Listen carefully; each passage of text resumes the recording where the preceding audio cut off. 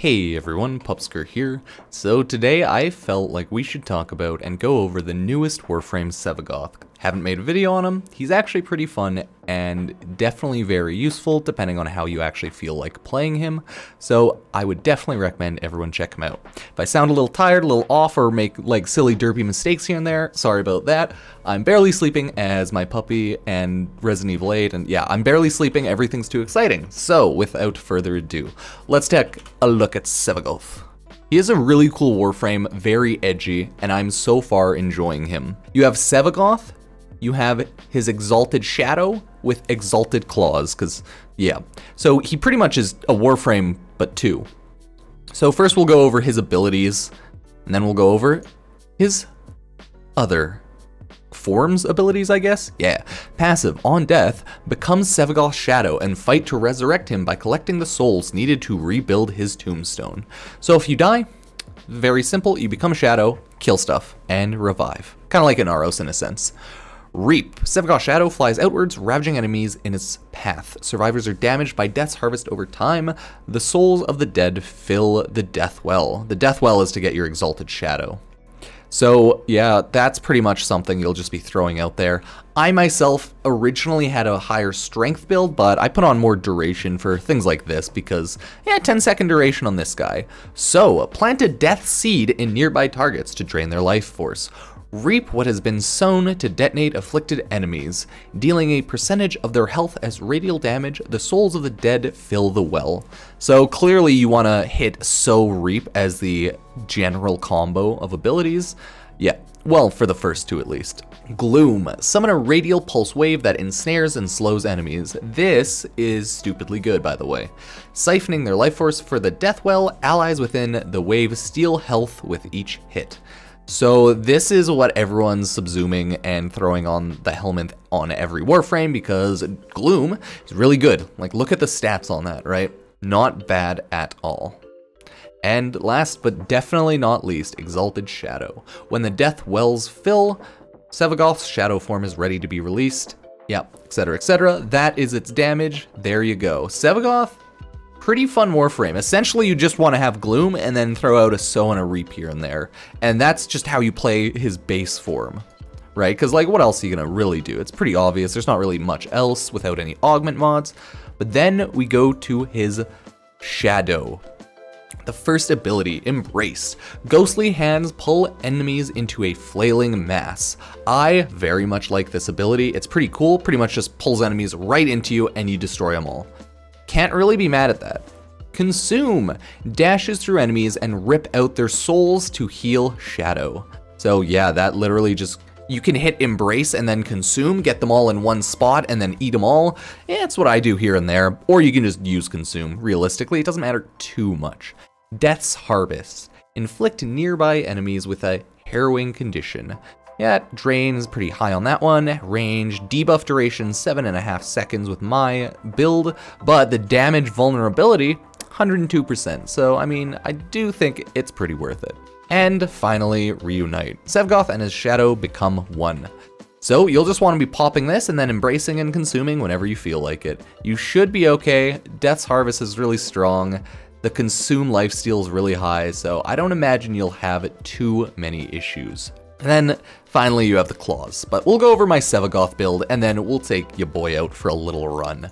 So I Originally, I had more strength on here, but I was like, no, Prime Continuity is just better. I shouldn't have any corrupted mods for my like basic build right now. I have Steel Fiber on just in case. Don't really need that. Can probably swap that out with Adaptation, and I think I'm actually to do that. Just because, like, realistically, your armor's not too high, right? But you do have so much lifesteal that adaptation probably better. So I'm just gonna do that. As you can see, general build, energy spent on, abilities converted to shields. I have all, just too many augur mods. I need more primed mods, but as you can see, nope. So I'm just gonna go hard on the augur mods, increasing strength, range, and duration.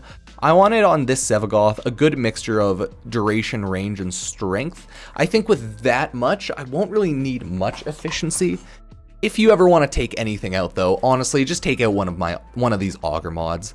I don't really care too much and I'm not really uh, being super meta about this build naturally Energize and Grace on as always, because lazy, but yeah, it's not like it's ever going to be an end game 15 Forma Sevagoth that people are talking about. Okay, you don't really need Forma on anything to be good enough to do everything. It just makes everything a lot easier, right? So that's my build there, Steel Charge, because yeah, why not? You can swap that out with whatever you want, naturally, personal preference. People get mad at me in my builds no matter what I do, so meh, it's fine. so this is Sevagoth Shadow. Steel Charge for all of the melee damage. Naturally, Transient Fortitude. I might actually want to put Duration over that. I will, just because I think I just swapped and had the same build that I had on my Sevagoth, pretty much on him before, except a little worse. So I think I'm gonna do my Sevagoth build like this, right? Jack of all trades, the Shadow, sorry, the Shadow for Sevagoth is just gonna be good all over. It'll have higher range, it'll do more damage, and yeah, I can't really complain. I don't really know what else I'd want to throw on for range but definitely not overextended because I kind of want that strength. But overextended would be fun if you want to do a max range embrace build. There's a lot of things you can technically do, right, with a lot of these warframes and exalted setups. So literally just do whatever you feel like doing. Any build can work depending on what you want your build to do. I myself tend to build just jack of all trades, just so that I won't have to swap around, just a good enough build to do everything half my shit's not even maxed out still because I can't be bothered to farm that much endo, so it realistically doesn't matter. The claws, these are going to be the funniest build though. The Shadow Claws.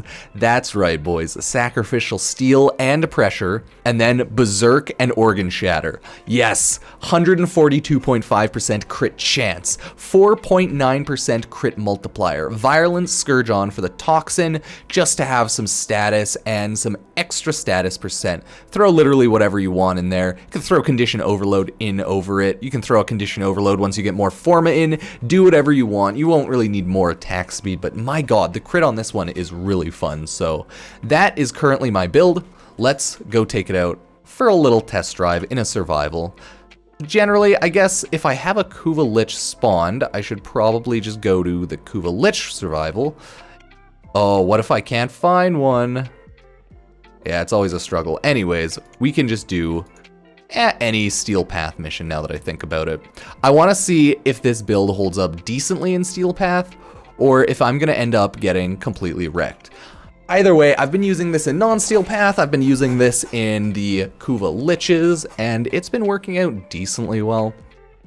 I'm probably gonna die a couple times here and there just because uh, I'm kind of a goof here and there. I do have the Cedo on, and of course I have my war, so you know what? We should be fine. As you can see, I've uh, equipped myself with black crits now. So with Gloom, you pretty much won't die unless you feel like dying. You don't even need to do a ton of, uh, like a ton of damage or anything, right? And you just won't die. Oh wait, did I push him over? Oh yeah, forgot about that. And then, when you want, I'm just trying to like gloom everyone. I don't have enough energy, as you can see, but that's okay. I won't really run into many issues. So yeah, Sevagoth, even without like much tankiness, he's not gonna have issues. I'm barely even using Gloom. And I'm doing fine, so as you can see, won't have any issues. Yeah, look at this sick war build. Clearly just too strong for the enemies. I want to get out his shadow form, so you can at least take a look at that. It is definitely his good form and fun to play, you know, IMO, if you want to just go shadow form melee. But as long as you keep using your abilities occasionally, keep killing them, you should be okay. You'll uh, definitely just annihilate them. You can always just be watching the duration if you want to feel like recasting everything. And then you just do this, and your shadow form should honestly last ages. The damage on it, as you can see, might not be perfect because I don't have any Forma in it. The black crits may be damn near impossible to see for some. I understand, okay, it's a struggle. So then you just Death Harvest, oh, perfect.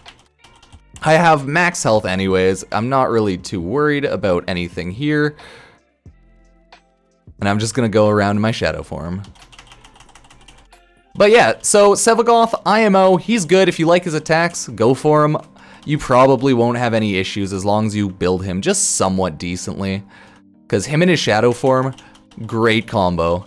It's not like I even have him super tanky whatsoever, and he's just doing fine. Where do these enemies keep... Oh, it's the roller ball.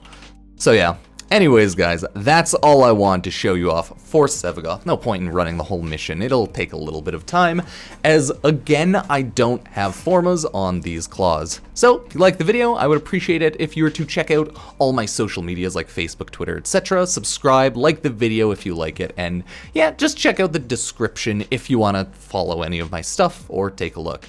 Thank you guys for being here. I will have hopefully a video up in the next day or two for my Resident Evil 8 review, and then other than that, just more Warframe stuff and random streams. Hey buddy, so thank you guys for being here, and I'll see you next time. Peace.